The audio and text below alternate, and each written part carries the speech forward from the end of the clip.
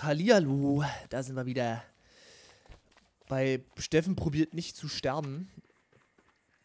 Und da fällt mir gerade ein, oh fuck. Wir haben uns hier eine, würde sagen, wir bauen uns hier eine kleine neue Basis. Nicht hier. Hier oben auf der grünen Wiese, würde ich sagen.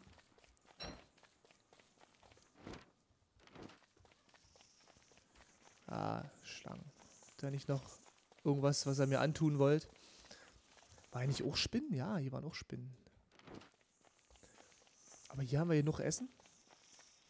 Finde ich gut. Würde ich sagen, baue ich mir hier mal noch eine neue Science Machine.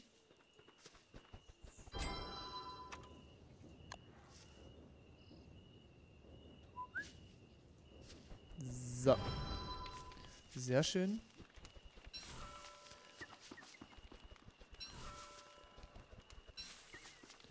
Gräser sammeln wir uns auch ein. Davon haben wir nämlich auch nicht mehr Fälle. Für unseren nächsten Strohhut.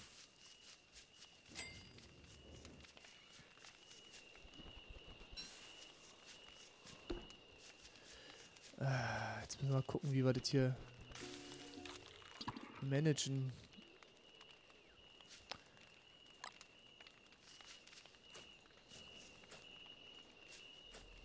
Fleisch kann ich ja nicht essen, so. Mist, Mist, Mist, Mist.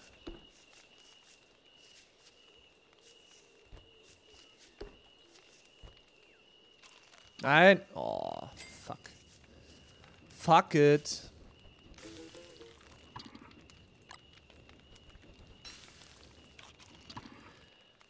Wie war denn das mit dem Kochtopf? Kriegen wir den noch in gebaut schnell? Sechs Asche. Uh. Hm. Aber wir wollten ja unseren Siesta-Dings hier bauen.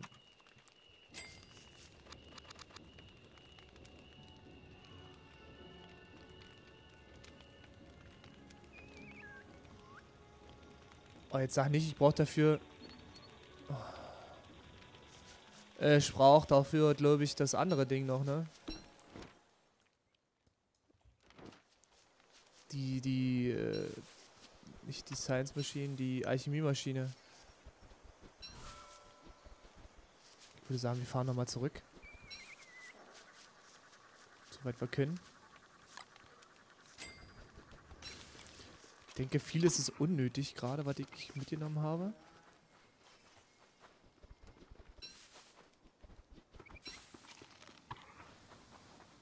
Ah, nicht über den Sand gehen. Verhetzen wir uns gleich wieder die Füßchen. Und das wollen wir ja nicht. Wir nehmen auch alles, was wir an Essen kriegen, müssen wir auch irgendwie mitnehmen. Äh, wo kommen die noch immer her? Unser Bötchen ist da unten. Ach Gott, ey, ob wir das überleben hier? Ich hoffe es doch. Gucken wir, dass wir unsere Basis vielleicht wieder aufgebaut kriegen.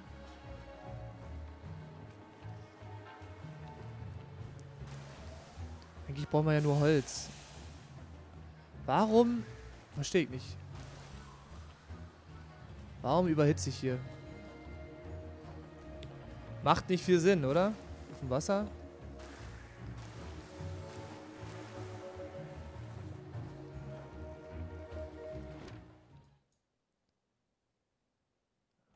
Wie alles zerstört ist da, ne? Zum Kotzen. Wieso ist es so heiß?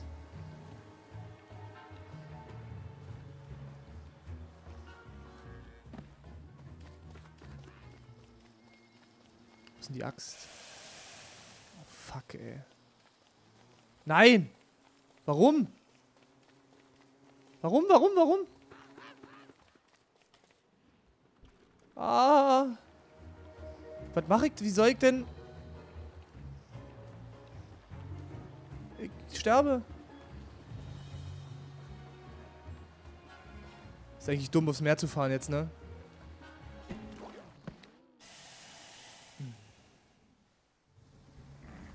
Ja, genau. Genau, ja, ist richtig gut. Gleich noch Hunde hinterher. Ah, ist doch scheiße. Richtig dumm.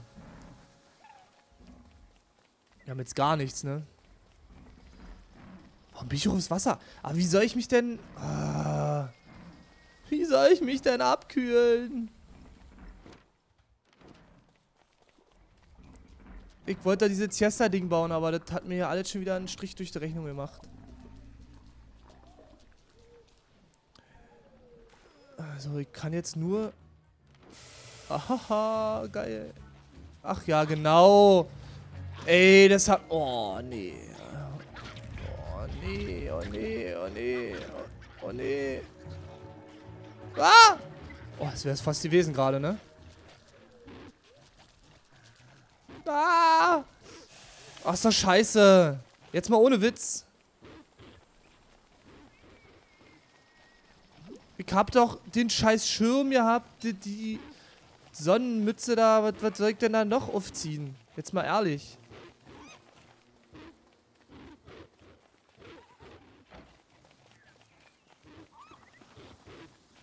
Ist meine letzte Amtshandlung.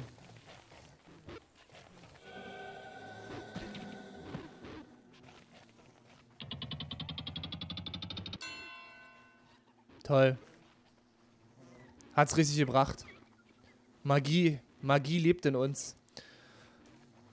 Ah, wir haben es so lange geschafft. Ich habe, also zumindest habe ich es jetzt im Let's Play schon mal alle vier Seasons an einem Stück geschafft. Und ich habe ja mal gehofft, dass ich diese jetzt noch überlebe. Und dann haben wir ja erstmal wieder Ruhe. Und dann haben wir ja, dann ist ja alles nicht so schwer, auch die nächsten Jahreszeiten, die kommen nicht. Weil man hat sich ja so ein bisschen was aufgebaut und hat Zeit für andere Sachen und dann wird man halt immer, immer, immer besser. Aber ist doch scheiße, ey. Muss ich da echt dieses Siesta-Ding da. Wieso nicht, ob ich mich absichtlich jetzt nass machen könnte? Irgendwie. Melone hatte ich jetzt auch nicht, um, um mir die auf den Kopf zu machen.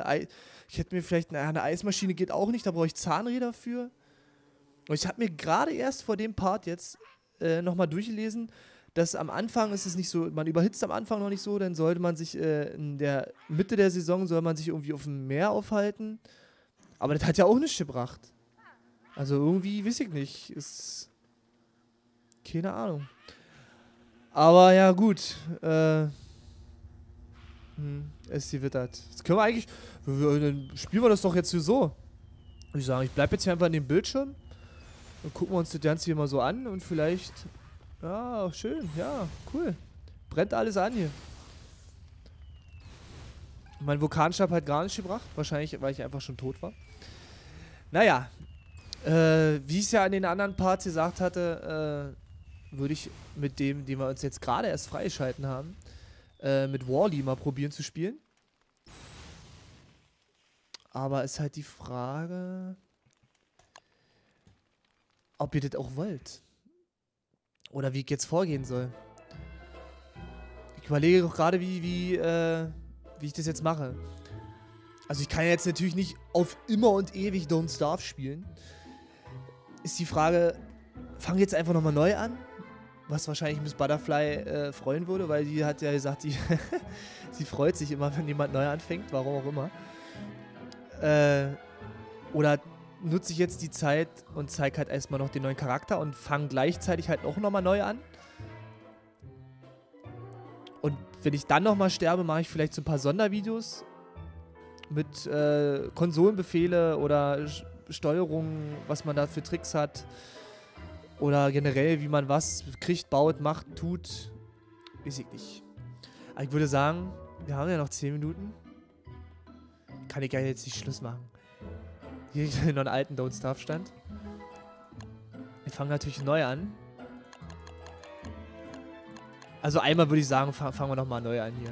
Solange es keinen neuen Charakter mehr gibt, würde ich sagen, würde ich es dann dabei auch belassen. Die alten kennt man ja. Schau mich nicht an, ich bin noch nicht fertig. Also zwei sollen anscheinend hier noch kommen, wenn das stimmt. Also wenn das so gewollt ist oder, weiß ich nicht. Ob man eins immer offen lässt und dann kommt nur noch einer. Oder ob es zwei Fahrzeichen auch wirklich nur mit zwei Charakteren ist. Wäre mal interessant. Ja, da haben wir unseren Koch. Wie ich schon gesagt habe, hat äh, vornehme, einen vornehmen Geschmack. Kocht in seinen eigenen Kochtopf und hat einen stylischen Kochhut oder eine Kochtasche. Pooch ist ja eigentlich die Tasche. Ja, dann würde ich sagen, das haben sie immer noch nicht eingefügt. Fangen wir einfach nochmal neu an. Was soll's? Man wird nur klüger. Trial and Error, ne? Oh, ist das scheiße. Oh, warum ich... Ah, vor allem, ihr habt, ihr habt ja auch gemerkt, das hat ja gerade auch nichts gebracht, äh, den, den, äh, den Stein da zu haben, weil ich hätte echt an Land sterben sollen, dann hätte ich das Zeug zumindest jetzt schnell schnappen können. War dumm von mir wieder rauszufahren. Und man muss halt quasi eigentlich saisontechnisch eine Kiste da neben den äh, Stein abwerfen. Weil man ja nie weiß, wann braucht man das irgendwie. Ach, das ist eine Tasche denn. Ah. Das ist quasi ein Rucksack. Okay. Ich habe ja gedacht, das ist, äh... Das ist, ähm... Na, eine, eine Kopfbedeckung, dachte ich so. Also so, so halt, so war meine Vorstellung. Dass es eine Kopfbedeckung wird. Ja, frohes neues Sammeln, würde ich sagen. Ähm, freut mich, dass das ihr äh, die ganzen Parts äh, durchgehalten habt und fleißig mitgemacht habt. Und entweder ihr gebt euch den, den Shit hier nochmal und probiert mit mir nochmal ein völlig neues äh, Erlebnis mit mir hier stattfinden zu lassen. Oder ihr sagt, na, Steffen, nochmal neu anfangen. Na, das muss nicht sein. Das langweilt mich, Steffen. Unterhalte mich, aber nicht auf diese Art. Dann, äh, wie gesagt, ich bin immer gerne für Kommentare zu haben. Was ihr mir da anbieten könnt, nehme ich mir auch zu Herzen. Und ich hätte halt gerne, wenn ich das jetzt geschafft hätte, die Vulkansaison so auch mal halt coole Sachen so gemacht in Sachen wie äh, mal mit einem Panzerboot rausfahren, mal mit der Wünschelroute rumlaufen, mal einen Wal töten und halt so eine Späße, ne? Aber ist halt natürlich jetzt, äh ja, ich finde so, das nebenbei zu machen, da vernachlässigst du halt dann alles andere und dann wird es halt noch schwieriger, finde ich, zu überleben. So was kann man denn echt machen, wenn man schon eine Basis aufgebaut hat und Zeit dafür hat. Also ich finde, dass diese, diese Zeitspanne mit, ich kann was unternehmen und machen, ist bei dem normalen Don't Starve wesentlich besser gewesen. In dem Sinne, dass es jetzt dadurch natürlich hier schwieriger wird zu überleben. Also ich finde, das ist knackiger geworden. Das einzige Problem, was ich immer bei Don't Starve hatte, war wirklich der Winter. Ansonsten hatte ich überhaupt kein Problem. Also über den Winter halt Nahrung zu finden. Ansonsten war das alles nicht so wirklich das Problem. Was ich mir halt übelst gerne wünschen würde, wäre äh, den Don't Starve Together mit dem Spielmodi. Weil dann würde auf jeden Fall, nehme ich mal an, Patty und Annika mit einsteigen, vielleicht sogar noch der Chris und halt mitspielen. Und ich denke mal, zu viert ist jetzt so eine Sache. Also da könnte ich zum Beispiel wieder die Basis-Mami spielen. Wie was ihr aus den alten Parts noch kennt. So, wir brauchen Holz die, die halt, wie gesagt, die Basismutti halt spielen. Und könnte halt die anderen beauftragen, hier, hol das, hol das, hol das. Und die haben, und die hätten dann halt Zeit, das halt zu besorgen, zu holen, zu suchen, zu erforschen. Und dann denke ich mal, wäre das Let's Play auch wesentlich unterhaltender, würde ich sagen.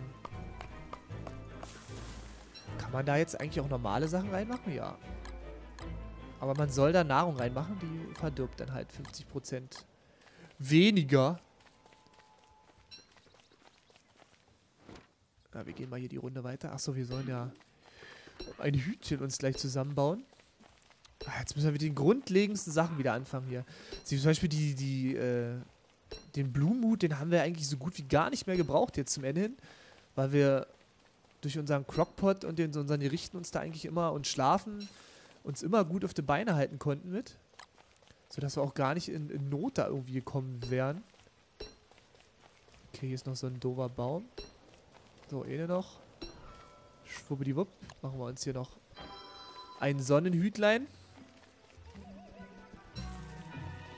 So, wir sonst mal noch ein bisschen Holz. Ich weiß nicht, ich denke mal, ich werde mir noch mal bisschen genauer angucken müssen, wie wir das hier überstehen mit dem... Ich weiß auch nicht, ob diese, dieser Siesta-Unterstand, ob der uns jetzt da mega gerettet hätte. Weil da kann man, ich glaube, es ist wie, wie so wie das äh, Zelt, dass man da halt sch schlafen gehen kann. Und kühlt sich dann halt ab. Also quasi wie so eine Art Sanity Refresh mäßig. Aber da müssen wir mal gucken. Vor allen Dingen hätte ich halt auch Pech gehabt, dass das halt trotzdem abgefackelt wäre.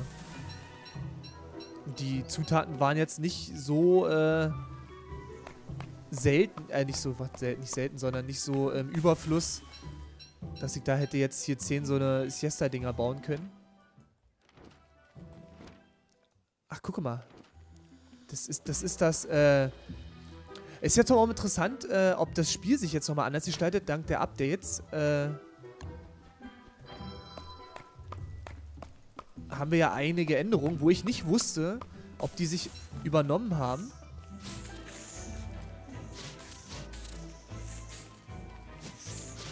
Da. Und äh, wie ihr schon oben sehen könnt, ist da... Ich brauche eine Pickaxe, ansonsten sind wir hier auch gleich am Arsch. Ist da oben diese Kiste. Ich glaube, die kann man halt zerhämmern und da sind dann halt Schätze drin. Irgendwas in der Richtung. So hatte ich es äh, gelesen und verstanden. Da ist irgendein Ding. Das Instrument ist geil, oder? Hatte ich ja auch erzählt, dass das äh, so eine Steel Drum ist. Finde ich mega geil, das Instrument. Und wir können gleich mal in der Nacht äh, unseren äh, Kochtopf ausprobieren. Und uns dann gleich mal ein bisschen was Schickes kochen. Wir haben ja hier noch Zeug jetzt hier auch da. Äh,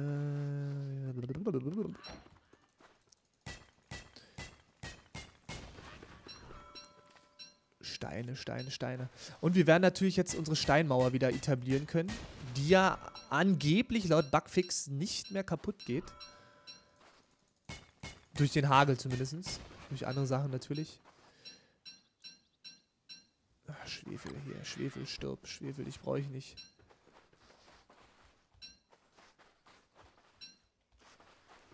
Wo bauen wir denn jetzt unser Lagerfeuerchen? Ah, machen wir mal hier. Noch haben wir Zeit, da können wir doch den Stein hier schnell kaputt machen. Hack, hack, hack, hack, hack, hack. Schnell, schnell, schnell. La la la la la la. Scheiße.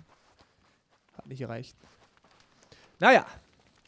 So, dann ne, holen wir jetzt noch ein bisschen Holz, was wir hier so in der Zeit noch abgrasen können. Hoffentlich keine Schlangen. Ja. Super. So, jetzt gucken wir doch mal, wie das hier funktioniert. Also, wir müssen den anpflanzen. Geil. Mega lustig. Mega cool.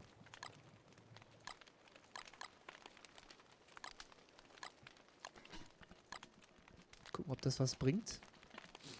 Aber braucht man natürlich halt ewig. Finde ich voll witzig, ne? Mit dem Kochtopf hier. Wenn man ranzoomt, ist die Auflösung gar nicht so groß, ne? Aber gut, es reicht äh, für die Entfernung von hier, ne? Dass es scharf aussieht. Kocht natürlich ewig hier, ne?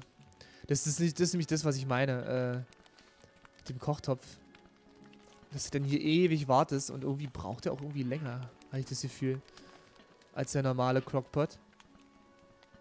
Da stehst du den ganzen Tag hier für ein Gericht. Hm. Wow. So, würde sagen, wir brauchen ein Bot. Ah, da läuft mir auch schon wieder die Nase hier. Ja, ich würde sagen, das normale Boot reicht erstmal, oder? Ja, wenn es nicht besonders schnell ist. Das Symbol ist auch lustig. Na, mal gucken, ob wir... Wir haben ja noch eigentlich einen Haufen neuer Sachen, die wir immer noch nicht gesehen haben. Sei es der äh, Piraten-Papagei, der uns Sachen tauscht, oder die Krake, die der Schweinekönig quasi ist auf Shipwrecked.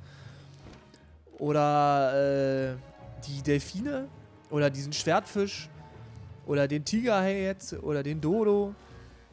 Also ein Haufen Sachen, die wir ja eigentlich noch nicht gesehen haben. Oder den, den Boaty Floaty Knight hier, der die Zahnräder äh, für uns hat. Alles nicht gesehen bisher. Aber naja, vielleicht kommen wir ja noch dazu. Wir sollten mal zusehen, dass wir uns unsere Rüstung dann bald bauen. Aber erstmal brauchen wir halt Gold und eine vernünftige... Eine vernünftige äh, Basis für unsere nächste Basis quasi.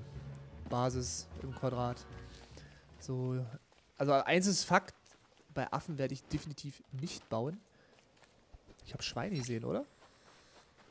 Ne, hier ist auch wie so eine, so eine Crate.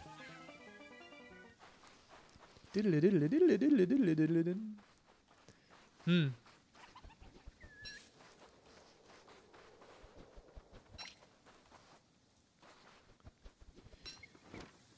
Ja, mal gucken, was uns hier auf der Insel erwartet.